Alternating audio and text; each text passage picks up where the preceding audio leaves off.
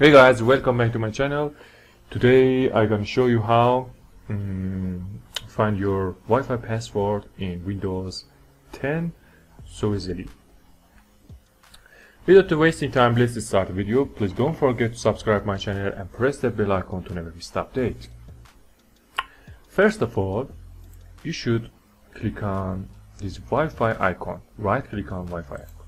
Then open Network and Sharing Center okay? So you should find ethernet here.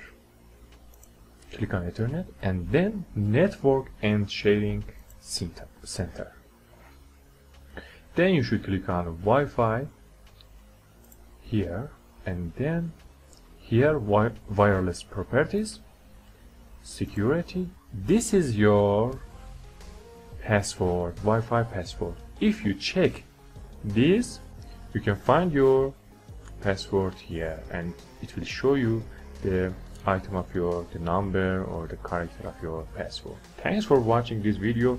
If if it is helpful please don't forget to subscribe uh, my channel and like the video and press the bell icon to never miss the update. Thank you very much. See you later